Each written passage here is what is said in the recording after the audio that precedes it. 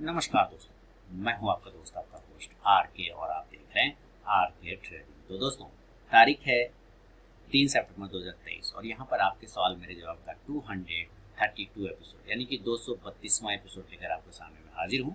Video पसंद आया दोस्तों तो ज़रूर फीडबैक करेंगे। बहुत सारे लोग सवाल सैटरडे की जगह संडे को भेज रहे हैं तो मैं उनसे माफ़ी चाहूँगा कि मैं सेलेक्ट नहीं कर पाऊँगा, क्योंकि वो सैटरडे रात बारह बजे तक का ही रहता है। उसके बाद बहुत सारे लोगों ने अपने नाम को फिर से नहीं लिखा तो उनके भी सवाल रिजेक्ट हो गए। तो जिनके भी सवाल सेलेक्ट हुए हैं, उनके जवाब में लेकर हाजिर हूँ। वीडियो पसंद आए ज़रूर फीडबैक करें। टेलीग्राम चैनल और आपके ट्रेडिंग मोबाइल को ज्वाइन कर सकते हैं लाइव मार्केट में कॉल्स के लिए। बाकी पटना मीटअप प्रोग्राम के लिए डिटेल चाहिए तो आप मुझे व्हाट्सअप कर सकते हैं।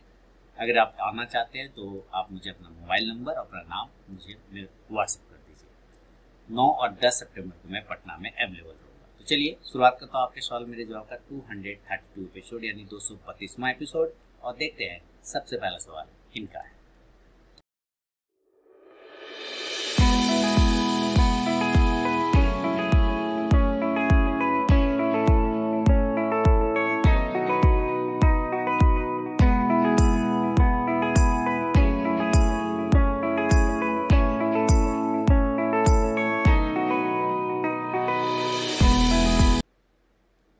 सबसे पहला सवाल, दीपक जी ने पलवल, हरियाणा से लिखा है और इनका सवाल क्या है?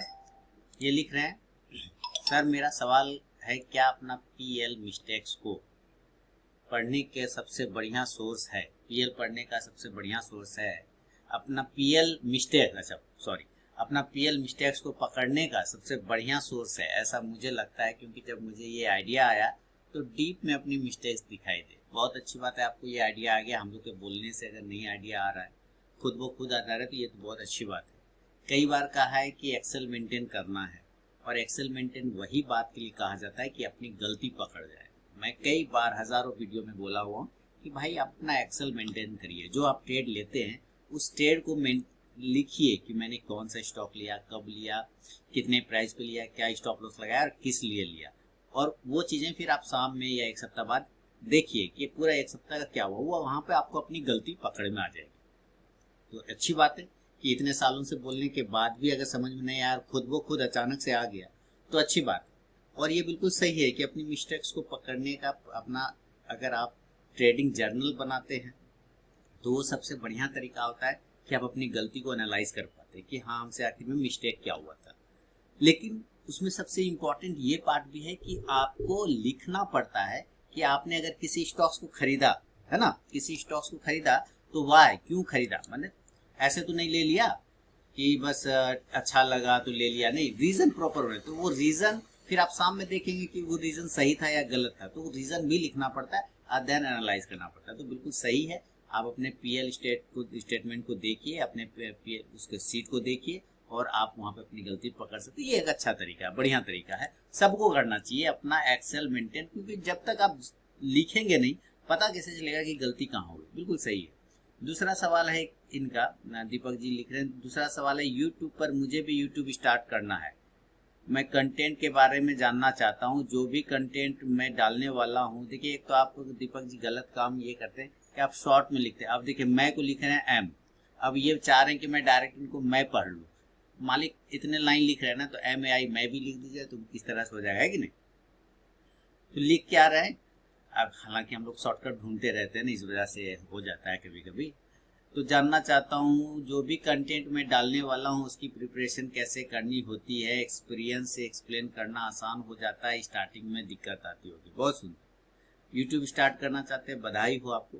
पहले तो आपको ये डिसाइड करना होगा कि आप किस सब्जेक्ट पे डालना चाहते हैं। क्या आपका थीम है, क्या टॉपिक है, क्या और आपका स्पेशलाइजेशन उसको कहते हैं कि एक्सपर्ट आपकी एक्सपर्टीज किस चीज़ में आप किस चीज़ के स्पेशलिस्ट है?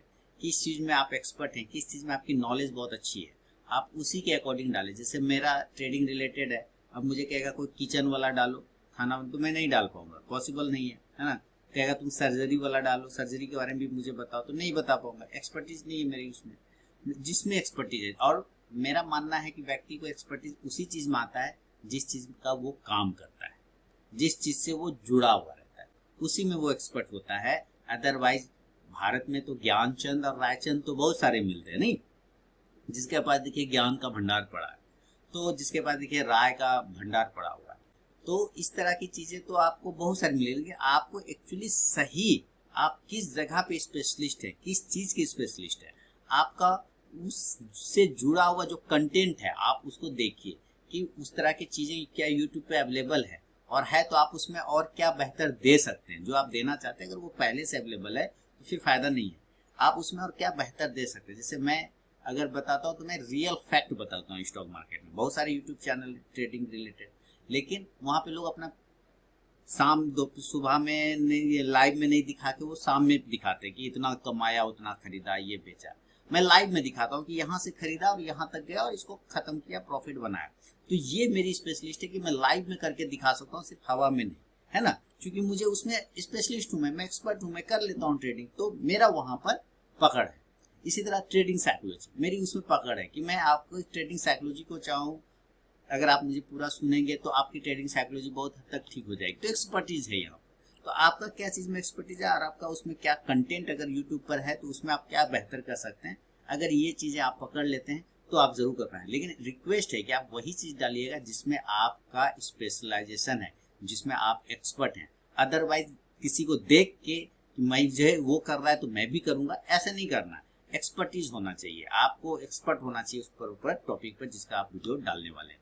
शुरुआत में जब आप वीडियो दिमाग में ले आते हैं तो सबसे पहले एक थॉट आता है कि इस टॉपिक पे सब्जेक्ट बनाना, इस टॉपिक पे वीडियो बनाना।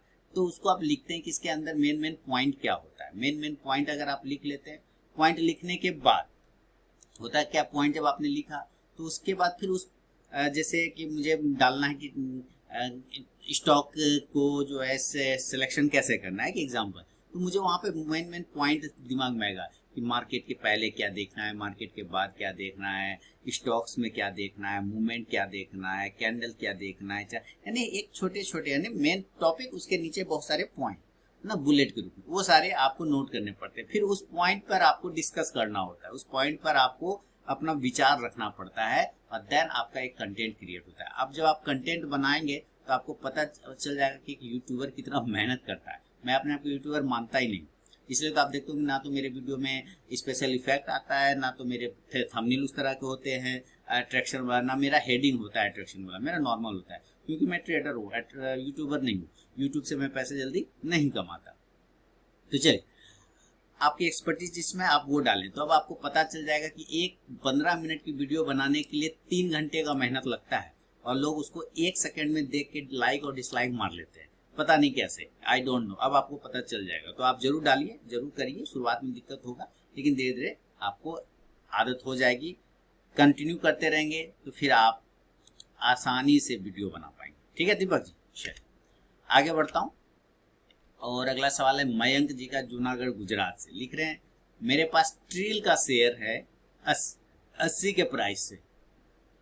प्लीज़ उस पर आपका क्या व्यू बता सकते हो? Any view in PVR stock मेरे पास 1800 की कॉल ऑप्शन है 50 पे लिया था, ठीक है? मैं कैश के चार्ट पे बताऊँगा पीवीआर का, अगर वो लेवल ब्रिच होता है, उस लेवल को अगर तोड़ता है ऊपर या नीचे तो आपको डिसीज़न लेना होगा। लेकिन याद रखिए, कोई भी जो स्टॉक रिलेटेड है, कोई पर्सनल बाइंग और सेलिंग की सलाह नहीं है। तो दोनों ही स्टॉक ट्रिल ट्रिल का स्टॉक हालाँकि देखिए, ये ज़्यादा रडार पर नहीं आता है ट्रिल वैसा स्टॉक नहीं है जिसमें आप ट्रेडिंग कर पाए। है ना? ट्रिल क्या है? वो रेक्टिफायर बनाते मतलब ट्रांसफार्मर रिलेटेड सामान बनाते। हैं हाँ है ना इलेक्ट्रिक इक्विपमेंट वही। तो आपने 80 से लिया 117 है तो स्टॉप लॉस भी आपका 90 के आसपास पड़ता है। अभी जो चार्ट दिख के, देख के यहाँ पे से लग रहा है, वो 90 का एक स्टॉप लॉस लग रहा है।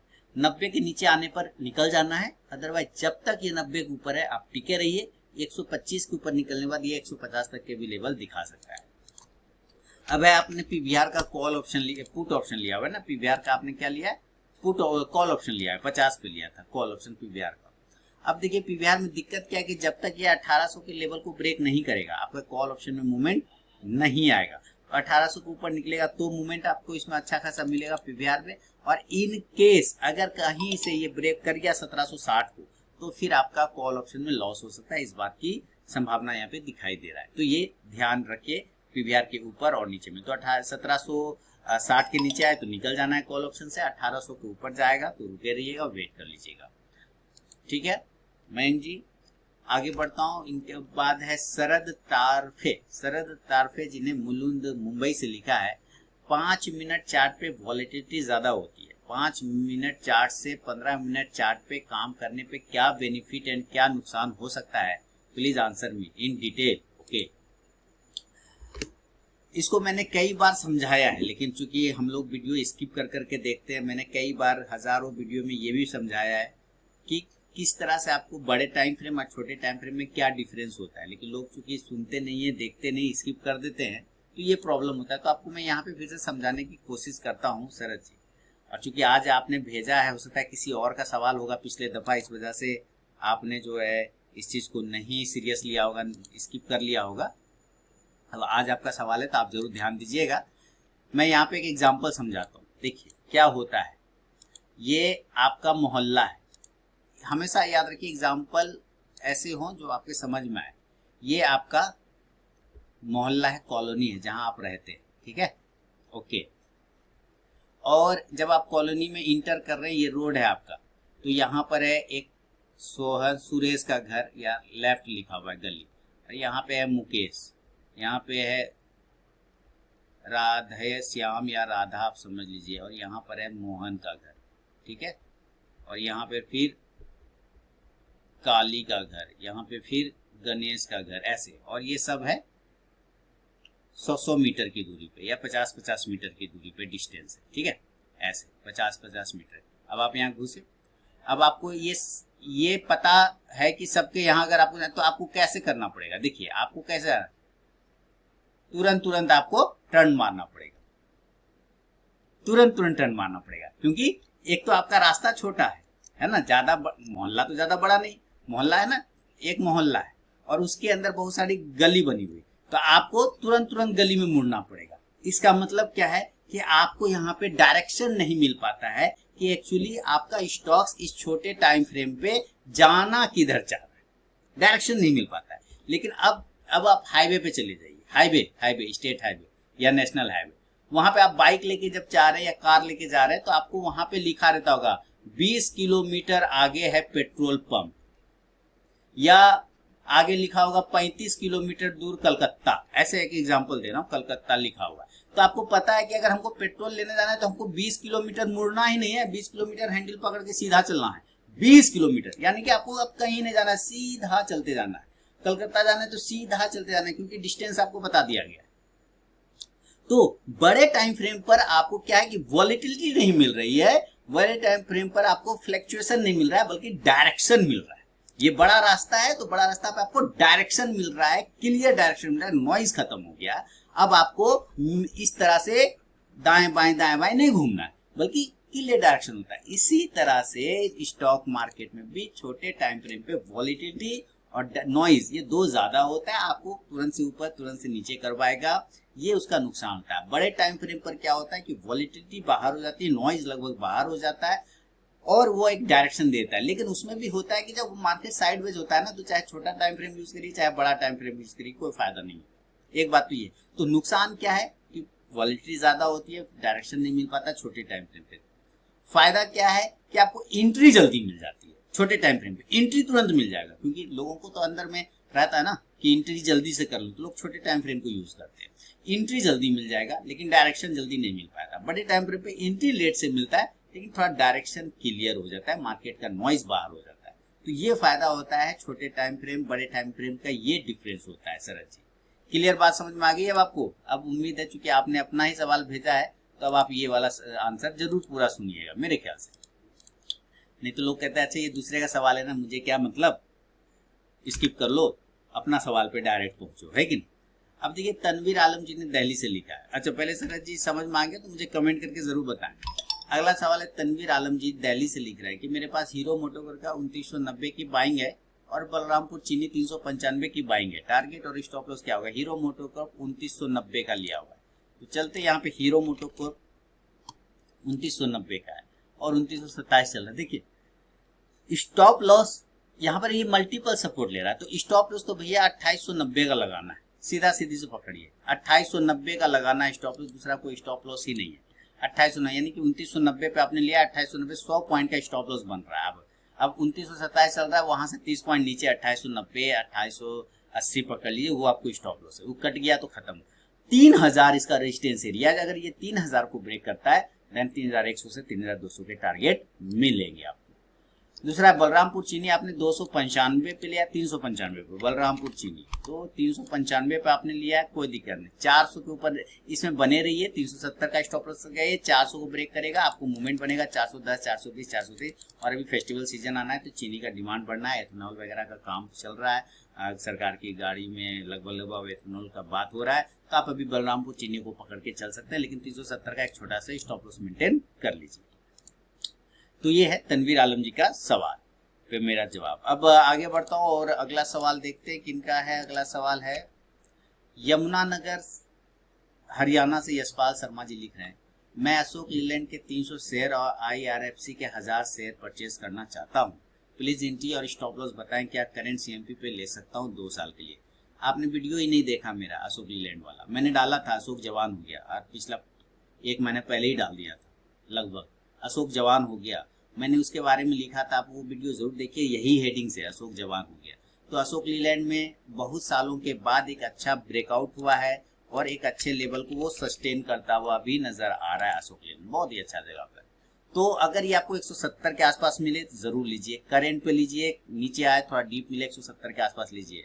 नहीं लेना चाहते हैं तो फिर एक सौ के ऊपर, जब 190 के ऊपर निकल जाए, तब लीजिए। आई आर एफ़ सी पैंतीस पे दिया हुआ, पच्चीस पे दिया हुआ स्टॉक लोग नहीं लेते और पचास, पचपन पे ले रहे तो खैर कोई दिक्कत वाली बात नहीं है। अभी आपको यहाँ पे मूवमेंट मिल सकता है, लेकिन अगर ये ज़्यादा बेहतर होता कि अगर आपको 45 के आसपास मिल जाए तो ज़्यादा बेहतर है। हाँ अगर ये लॉन्ग टर्म के लिए लेना है तो बिल्कुल यहाँ पे लीजिए, दो से तीन साल तीन साल से ज़्यादा कर लीजिए, कोई दिक्कत नहीं है। क्योंकि मूवमेंट नीचे से ऊपर काफ़ी ज़्यादा हो चुका है। ऑलरेडी ये हंड्रेड परसेंट का मूवमेंट कर चुका है मात्र दो महीने में। दो से तीन महीने में हंड्रेड परसेंट सत्ताईस से चौवन हो गया। तो हंड्रेड परसेंट हो गया ना रिटर्न मिल गया, दुगुना हो गया। तो यहाँ पर हो सकता है थोड़ा सा ये साइडवेज हो जाए सस्टेन कर जाए। अगर ये साइडवेज हो जाता है तो साइडवेज में अकुमुलेट करना है पैंतालीस से पचास के आसपास में। और अगर ये डायरेक्टली निकल जाता है छप्पन संतावन के ऊपर तब देन वहाँ पर फिर एंट्री किया जा सकता है। और लंबे समय के लिए ले रहे हैं तो कोई दिक्कत नहीं स्टॉक के फंडामेंटल अच्छे हैं, आप बिल्कुल होल्ड करके चल सकते हैं। तो ये मेरा व्यू है अशोक लीलैंड और आई आर एफ़ सी शेयर पर। तो जैसा कि मैंने कहा था दोस्तों कि बहुत सारे लोग ने नाम लिख के नहीं भेजा अपने सवाल में तो उनके सवाल रिजेक्ट हो गए। कुछ लोग संडे को भेज रहे हैं तो उनके सवाल में नहीं ले पाता हूँ अपनी टेक्निकल इशू की वजह से। तो ये सारे सवाल जो सैटरडे को रात बारह बजे तक आए, मैंने सेलेक्ट करके आपको आंसर कर दिया है। तो पसंद आया तो ज़रूर फीडबैक करें टेलीग्राम चैनल और आर के ट्रेडिंग मोबाइल को ज्वाइन कर ले लाइव मार्केट में कॉल किए मिलूँगा नेक्स्ट वीडियो में, तब तक के लिए बहुत बहुत धन्यवाद।